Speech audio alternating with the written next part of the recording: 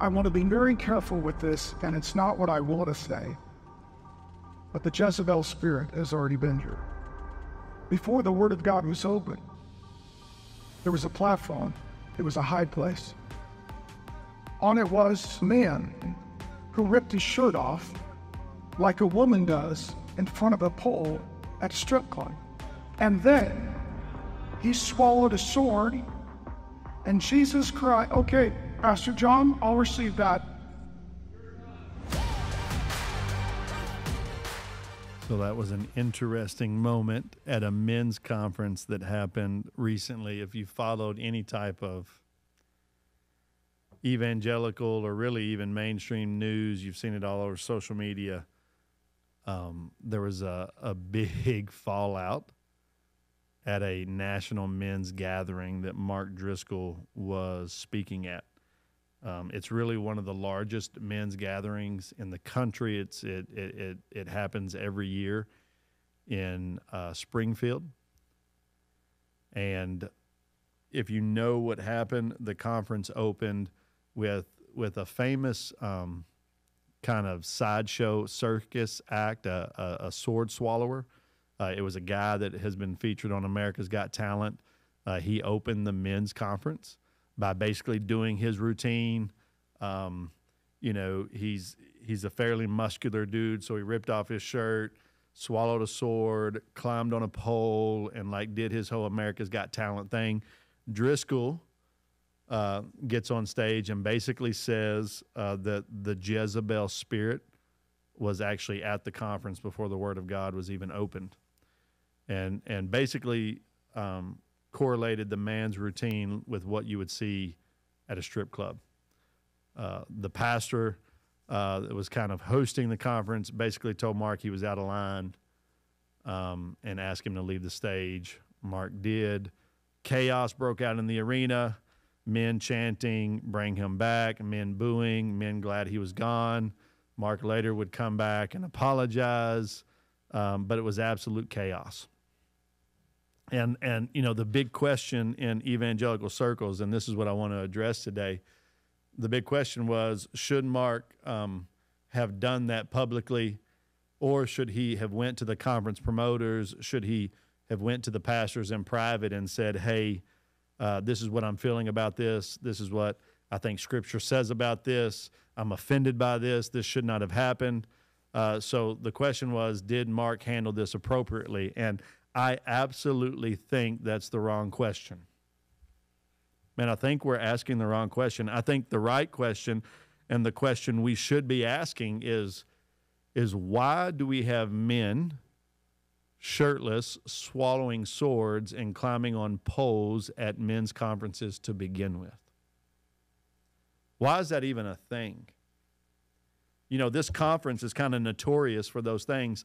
I think it was a couple years back, they actually had a tank drive through the middle of the conference, crush some cars, and inside driving the tank was Chuck Norris, who popped out of the tank to the cheers of whatever it is 10, 12, 15,000 men.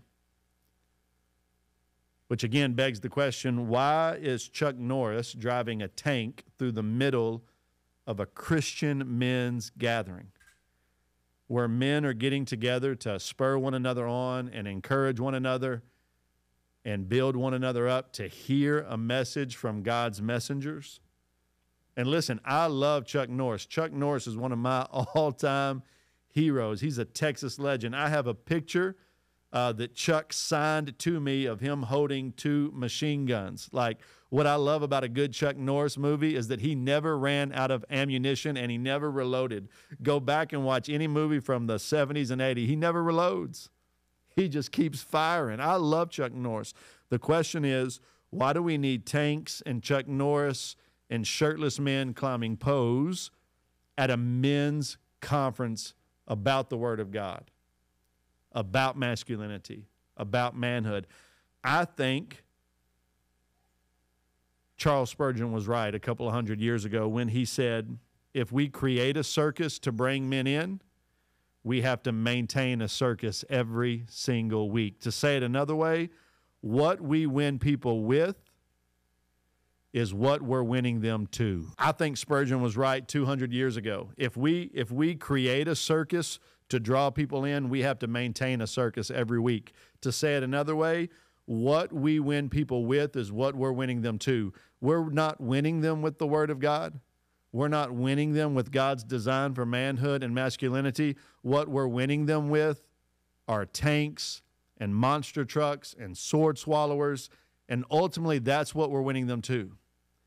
We're winning them to entertainment. So, what the church has to do to maintain the men is entertain the men. And here's the reality, brothers we can't beat the world at entertainment. The world will always be more entertaining than the kingdom. That's what the world specializes in, that's what the world majors in. The world wants to entertain us to death.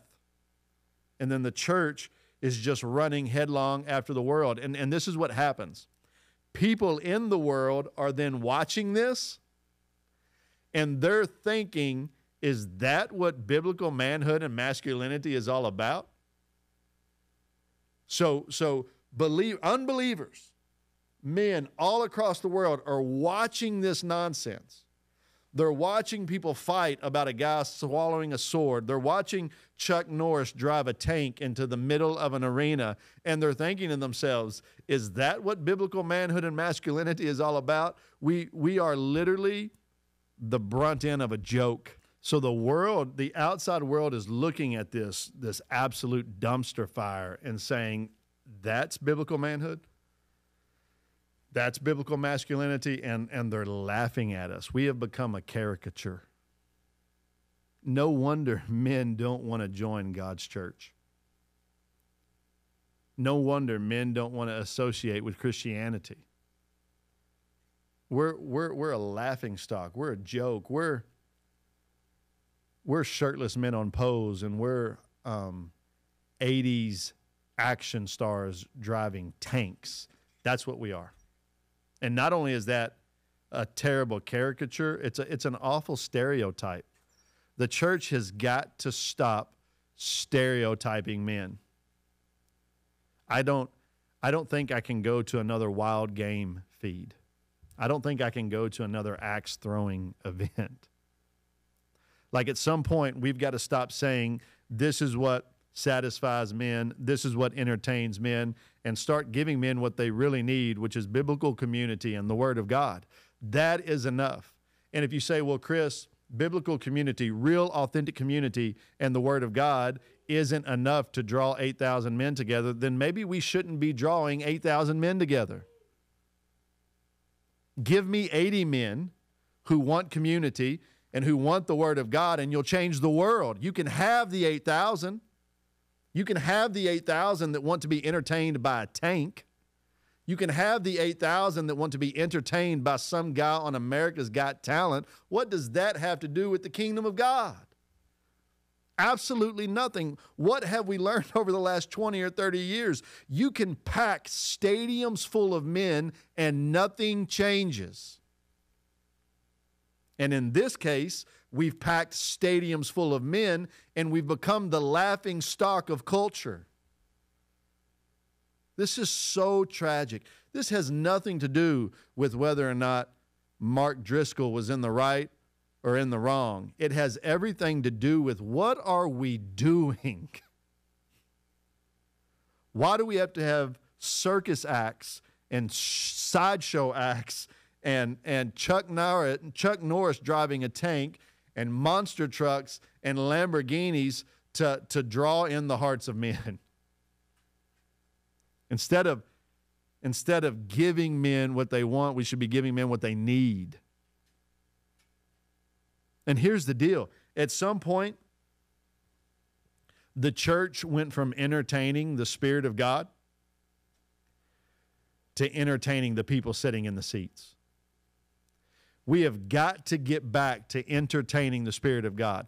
We have got to get back to the basics, right? The Word of God. We've got to see the Word, hear the Word, sing the Word, preach the Word, read the word. We've got to get back to the word of God and we've got to get back to the fellowship and the community of God.